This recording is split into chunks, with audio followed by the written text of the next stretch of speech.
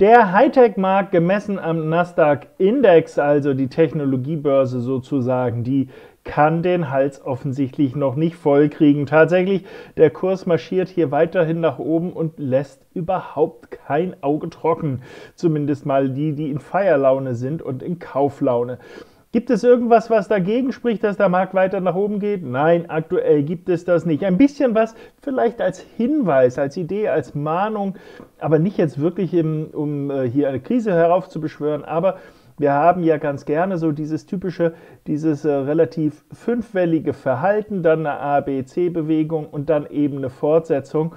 Und wenn wir uns das genauer mal angucken, dann haben wir auch hier so eine klassische fünfwellige Verhaltensform und das würde dafür ein wenig sprechen, dass wir bald ein Ende, ein vorläufiges Ende, keine Sorge, das ist jetzt nicht Dramamodus von wegen die Welt bricht zusammen, aber ein nächstes Päuschen hätten. Das ist nichts Außergewöhnliches, damit müssen wir rechnen. Und interessanterweise, wenn wir uns das nochmal genauer angucken, das ist ja hier das, was wir äh, als Trade des Tages auch angegeben hatten, hier als eine Idee, dass sich sowas hier nach oben eben fortsetzen sollte, idealerweise als dritte Welle. Hier kam offensichtlich nochmal die fünfte. Und wenn wir uns das hier nochmal angucken, auch das hier intern hat zumindest mal so ein bisschen diesen Eindruck.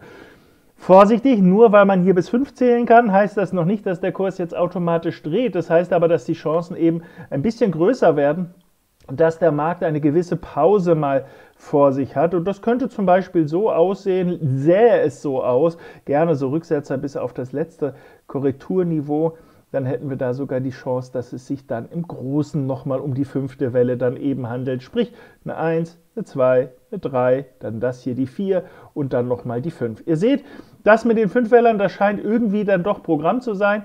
Es sieht ein wenig danach aus. Kann man also jetzt schon shorten? Nein, um Himmels Willen bitte nicht. Der Markt der hat überhaupt gar keine Anzeichen, gar nichts, null. Jetzt hier für die Short-Seite. Nur rechnet damit. Bitte seid nicht übertrieben bullisch im Sinne von, es kann ja gar nicht mal zurückgehen. Klar, wer Rücksetzer dieser Größenordnung aussitzen kann und möchte, der kann das natürlich tun, wenn er davon ausgeht, dass der Kurs weiter nach oben geht. Das wäre ja denkbar. Aber wer sagt, oh Gott, das ist mir schon zu viel Abwarte und wer weiß denn, ob es von dort nicht dann doch schneller nach unten geht, der sollte natürlich dann ein bisschen enger nachziehen, um einfach da dran zu bleiben. Das mit den fünften Wellen ist übrigens äh, nichts Außergewöhnliches. Gold, da hatte ich am Wochenende ein übergeordnetes Bild zugezeichnet, nämlich mit der Überlegung, und dass der Kurs hier auch diesen Fünfweller hier vorne, ich will es jetzt nicht nochmal erklären, guckt euch das Video einfach nochmal an.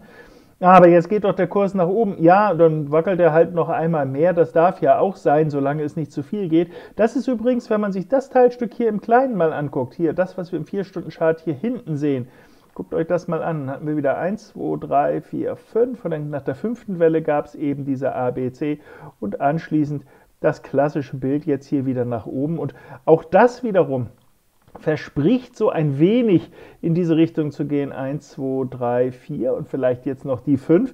Wir haben ja sogar hier intern 1, 2, 3, 4, 5. Also heute ist das offensichtlich das Thema des Tages. Das ist nicht so außergewöhnliches, aber hier fällt es halt jetzt besonders mal auf. Und deshalb äh, der Hinweis darauf, dass man solche Sachen angucken kann.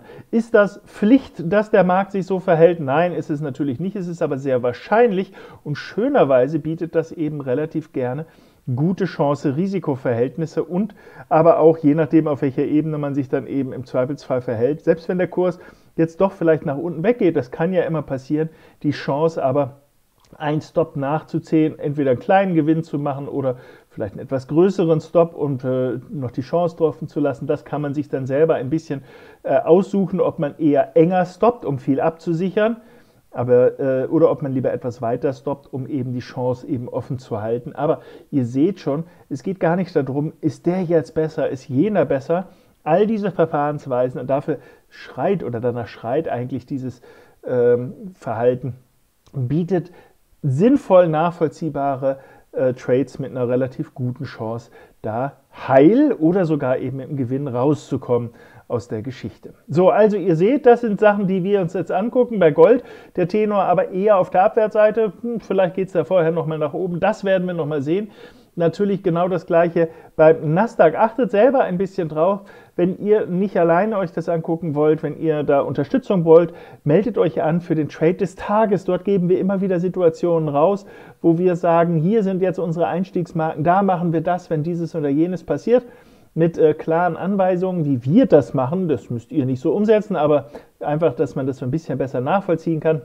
Wer auch mal Updates äh, innerhalb eines Tages auf sein Smartphone haben will, meldet sich einfach bei Born for Trading an und hat dann die Möglichkeit, das dann noch, noch enger mitzuverfolgen, wenn sich da ein bisschen was tut. In diesem Sinne, euch jetzt erstmal alles Gute, ganz, ganz liebe Grüße und bis zum nächsten Beitrag.